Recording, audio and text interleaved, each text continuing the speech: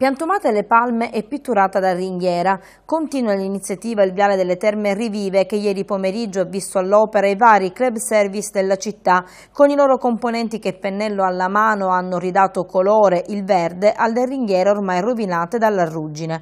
Si tratta del secondo step del progetto Terme che si propone come esperimento civico di impegno in prima persona dei cittadini saccensi senza distinzioni e contrapposizioni, un gesto di amore per la città, un recupero del senso di appartenenza appartenenza.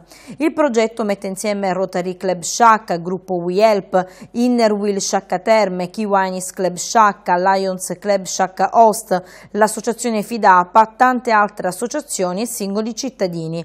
Nelle scorse settimane la piantumazione delle palme che sono tornate ad abbellire il viale dopo che il punteruolo rosso le aveva decimate, ora la ringhiera, quella che interessa la parte antistante l'ingresso delle terme. Infine il 31 agosto il viale delle terme Terme Rivive diventerà musica con un concerto, il Combi Projects con e di Accursio Cortese.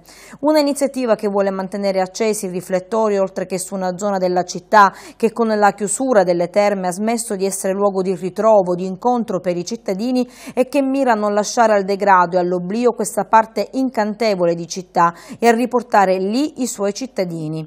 Un gesto che i club service dopo l'intervento di ieri pomeriggio auspicano sia custodito da tutti i saccensi e che non venga banificato da atti di vandalismo e inciviltà.